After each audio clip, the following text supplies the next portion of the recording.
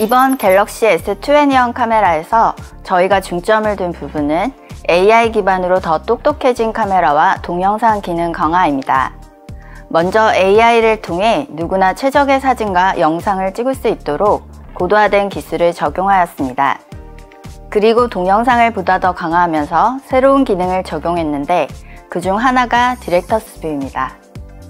갤럭시 S21에서 새롭게 적용된 Director's View는 여러 개의 카메라를 동시에 컨트롤하여 다양한 화각을 한눈에 보면서 최적의 영상을 촬영할 수 있는 기능입니다. 갤럭시 S21에 탑재된 최신 AP는 카메라 영상을 동시에 3개까지 컨트롤할 수 있는 ISP가 지원됩니다.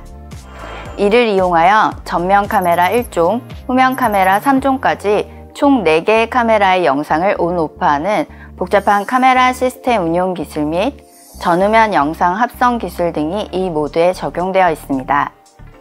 보시는 것처럼 라이브 썸네일을 통해 사용자는 감독이 된 것처럼 후면 카메라의 세 가지 화각을 미리 보며 실시간으로 원하는 앵글을 포착하고 촬영하는 새로운 동영상을 경험할 수 있습니다.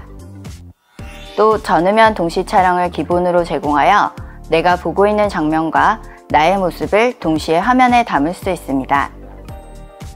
썸네일은 특정 시간 사용하지 않으면 화면 가림을 최소화하고 배터리 소모를 줄일 수 있도록 자동 숨김 처리하고 있습니다. 개발에서 가장 큰 어려움은 바로 이 지점이었는데요. 많은 종류의 카메라 영상을 동시에 처리하기 때문에 상당한 컴퓨팅 파워가 필요했으나 기본 동영상에 준하는 최소한의 소모 전류로 개발해야 했습니다.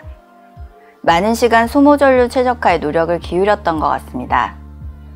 왜 이런 기능이 필요한가에 대한 의문을 가지셨던 분들도 이 기능을 직접 써보시곤 좋다라는 말씀 주셔서 더 큰 책임감을 가지고 임해야겠다 생각하고 있습니다.